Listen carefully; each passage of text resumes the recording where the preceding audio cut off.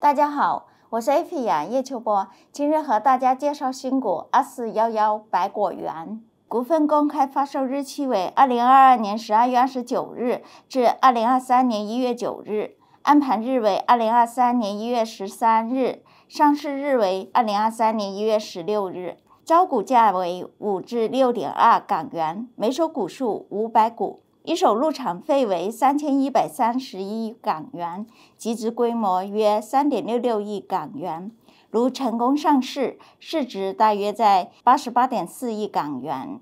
公司简介方面，公司是中国最大的水果零售经营商。根据弗罗斯特·沙利文的资料，按二零二一年水果零售额计，公司是中国第一大水果零售商，占中国总市场份额百分之一。而五大参与者合计占总市场份额百分之三点六。同时，公司亦在中国所有水果专营零售经营商中位列第一。公司拥有中国水果行业最大的分销网络。公司业务方面，公司参与种植以确保生产高质量的水果，实施全产业链专业化、标准化品质管理，为消费者提供好吃不贵的水果，并实现了高周转、低损耗。公司致力于成为中国消费者的首选品牌，并且是中国水果行业中少有的兼具知名产品品牌和渠道品牌的企业之一。公司主要销售水果，同时亦销售果干、果汁等果制品。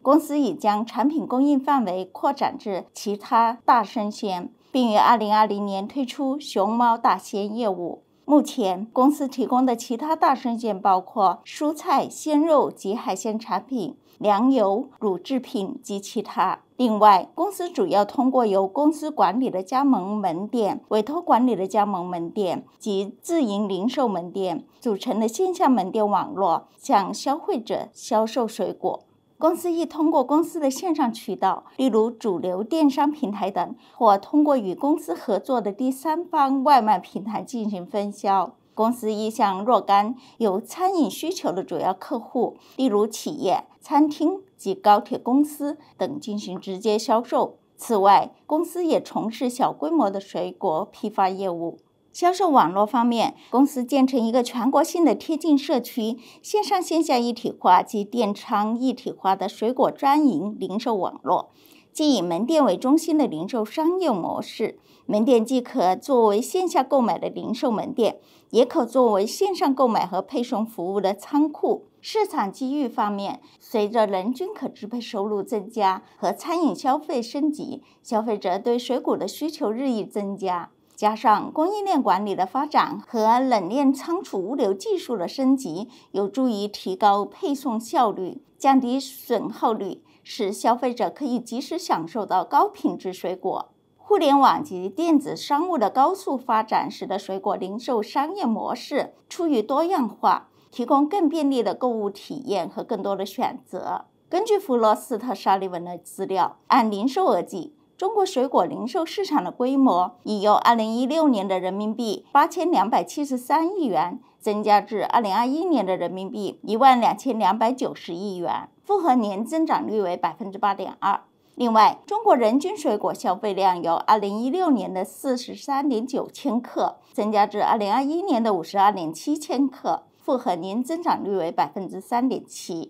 与发达国家相比，美国人均水果消费量约为中国的二点一倍，而与中国饮食结构较相近的日本，其人均水果消费量则约为中国的一点四倍，代表中国的人均水果消费量仍有上升空间。综合损益及其他全面收益表概要方面，公司二零二二年上半年收入为五十九点一亿元，同比上升百分之七点零四。销售成本为五十二点四亿元，同比上升百分之六点五；毛利为六点八亿元，同比上升百分之十二点六，毛利率为百分之十一点五。期内利润为一点九亿元，同比上升百分之四十六点二。公司收入和毛利持续上升的主要原因是由于门店数量净增加，导致通过加盟门店销售的产品销售额增加所致。按业务线划分的收入明细方面，公司二零二二年上半年新鲜水果的收入为五十四点五亿元，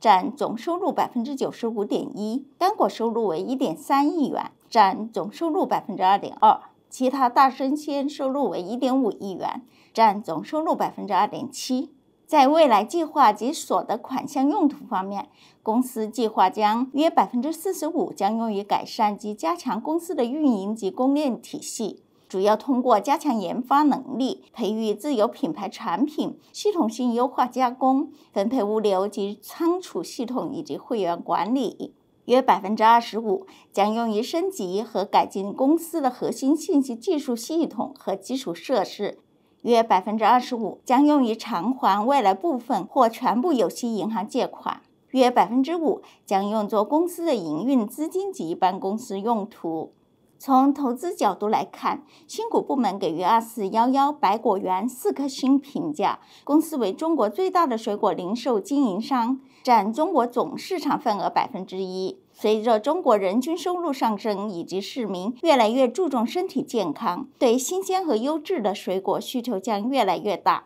长远利好公司发展。从投机角度来看，新股部门给予二四幺幺百果园四颗星评价。近日的中央经济会议提到，中国需要加大并扶持内需，防疫政策放宽将利好公司在内等拥有内需概要的股份，有利公司短期表现。总括而言，我们建议的认购策略为孖展认购。本人是证监会持牌人士，以上内容纯属个人意见，不构成买卖要约。谢谢大家。